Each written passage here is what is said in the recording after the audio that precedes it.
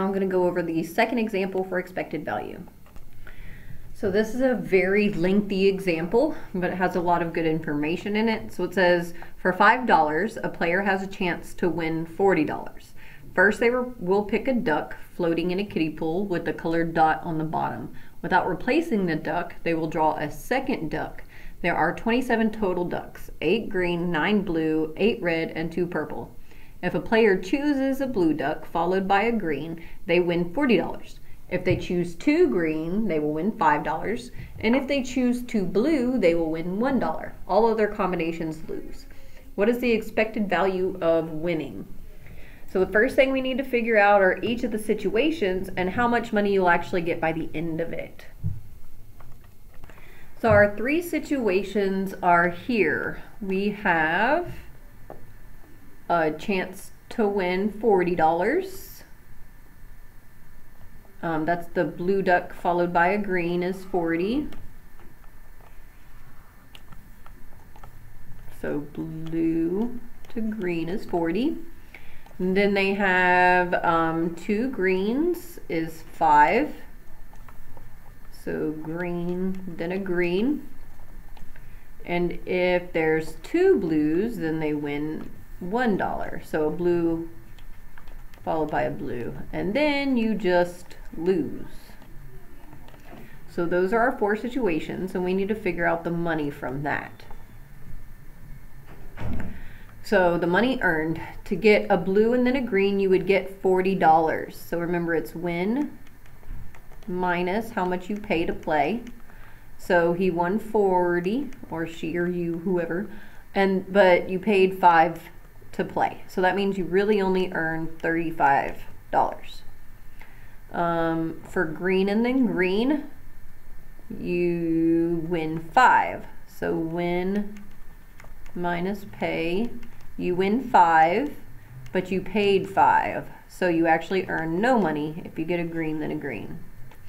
For blue, you win $1, but you paid 5 to play. So you lose $4. And then lastly is if you lose, you win nothing and you paid $5. So you lose $5. Now we need to figure out the probability of each of these things happening.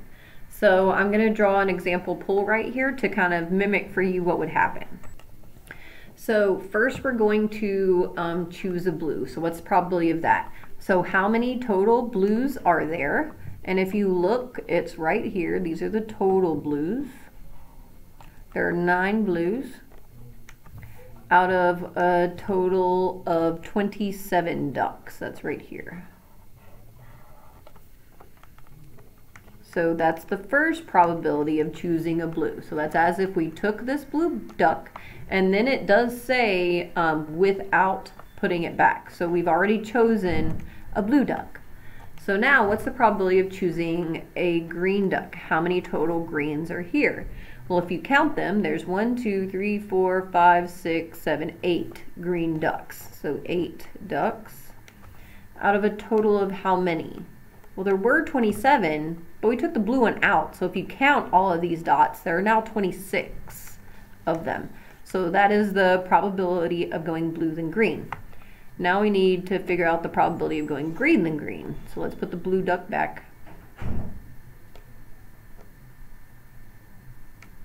Okay, so now the probability of getting my first green one is how many total greens there are which is right here. There are eight greens over a total of 27.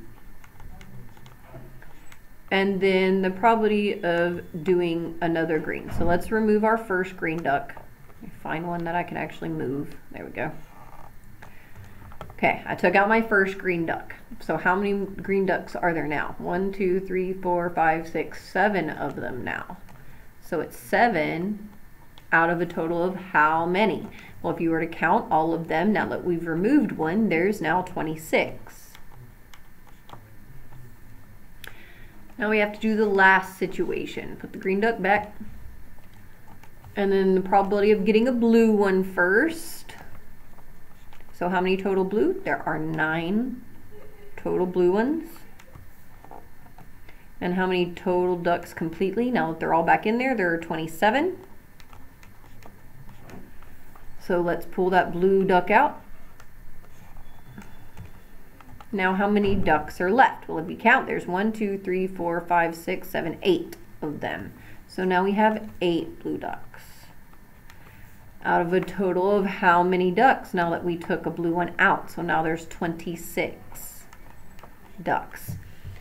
And then to figure out losing, it's actually easier if you figure out what all of these decimals So it's part of our calculation anyway. We have to do it anyway. Um, but once you figure out what all these decimals are, you just subtract it from 1. So you do 1 minus what each of these decimals are. So let's figure out the decimals first. So on this one, you can actually go ahead and multiply whenever you put them in parentheses. So it would be 9 times 8. That's 9, not 7, sorry. 9 times 8 divided by 27 times 26. And it would be 0.1026, 0.1026.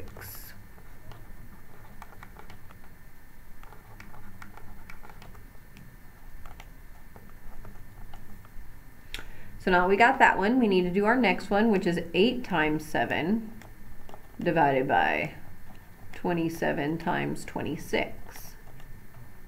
So this is the probability of green and green and it's 0.0798.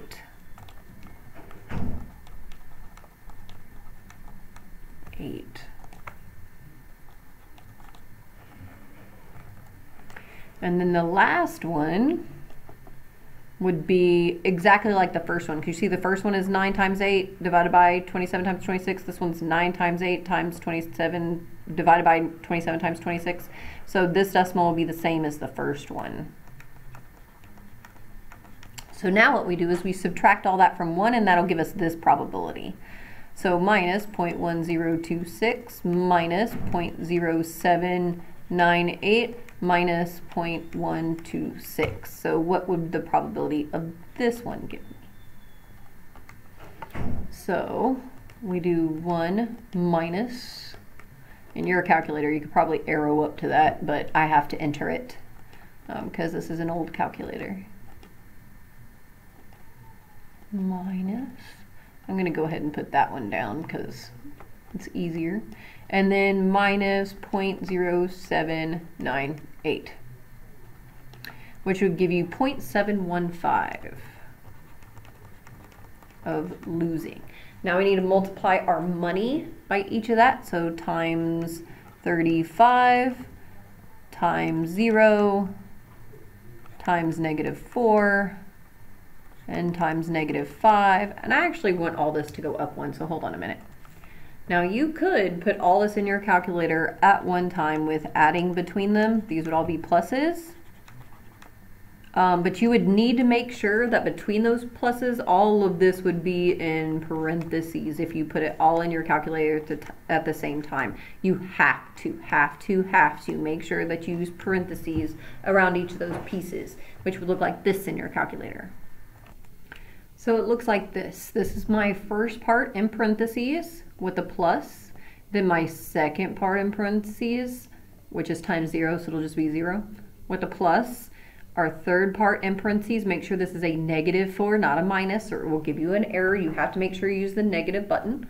Plus, and then our last probability times negative five. And whenever we put that in, our expected value is negative 0.39 which means that you would be expected to earn, well, win that much whenever you're playing.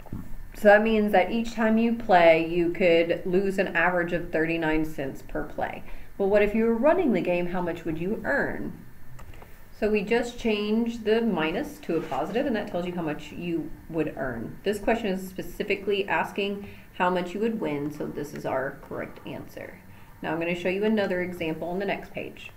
So this one says for $5, a player has a chance to win $300. First, the player will spin a spinner with four equal regions by suit. Second, they will randomly select a card from a standard deck. A player must spin and land on a heart.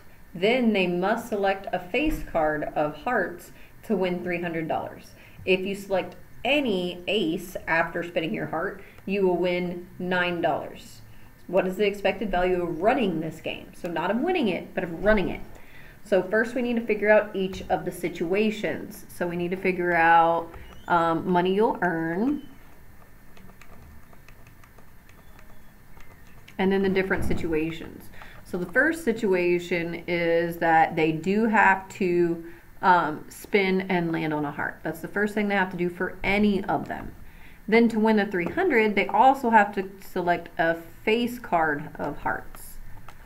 So it's a heart and then a face of hearts.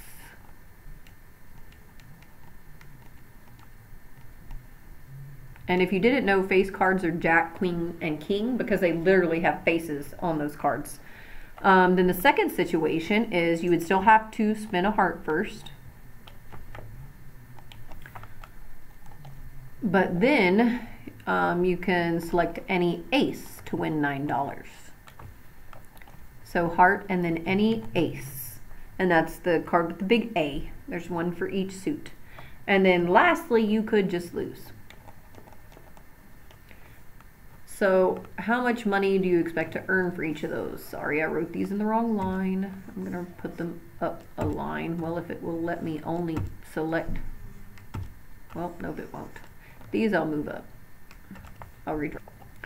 So the first one is if you won the total. So how much did you win minus how much you paid to play? Well, for this one, you win $300, but you paid five to play. So it, you actually get 295. For this one, you win uh, $9 and you paid to play for five. So that means you actually earn four.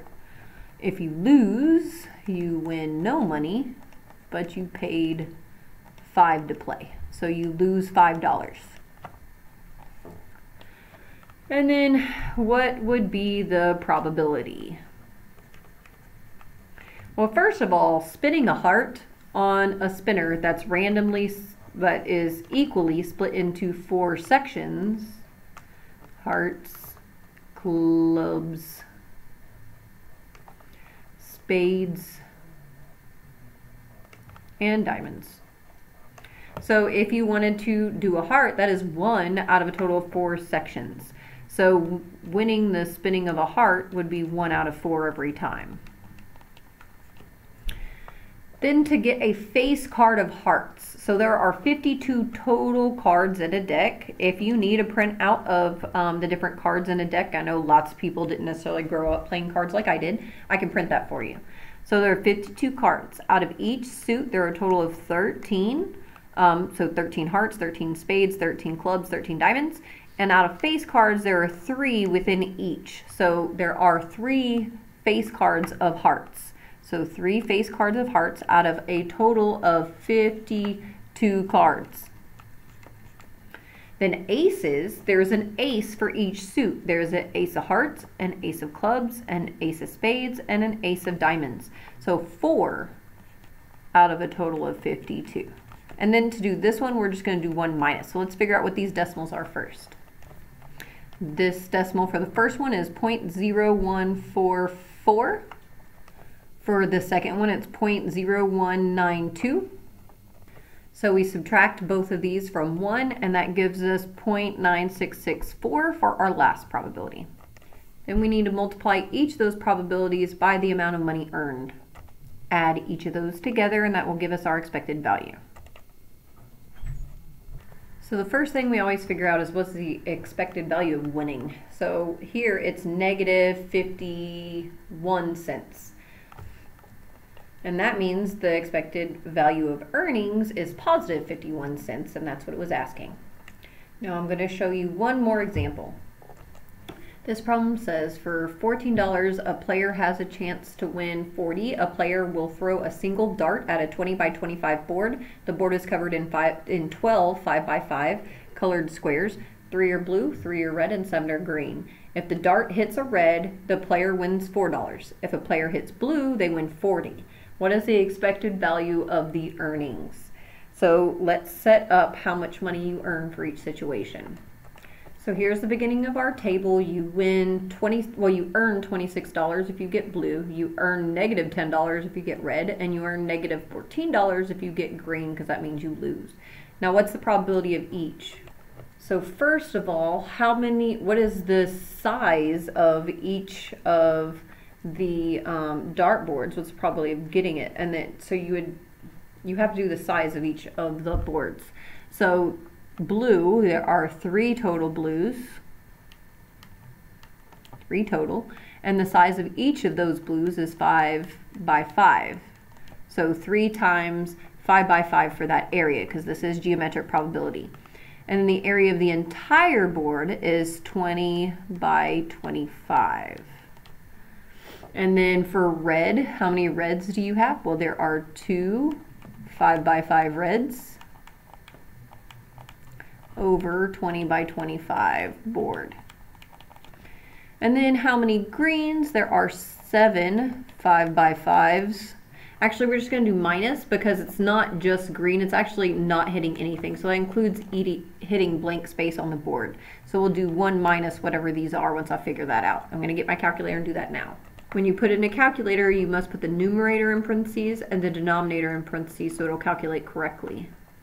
So this is what each of the probabilities are once you multiply them out and then subtract from 1 on this last one of the previous probabilities. Now you need to put in the money. Now we have to add all that together and figure out what the expected values are. So when you multiply them all out and add them together, you actually would lose $7.60 every single time you played. That does not sound like a very good game to play. But if you were running it, then you would earn $7.60 every single time somebody played. But you need to make sure that it's enough to where people um, at least feel like they might be winning. So um, go ahead and write down your summary at the bottom and we are finished.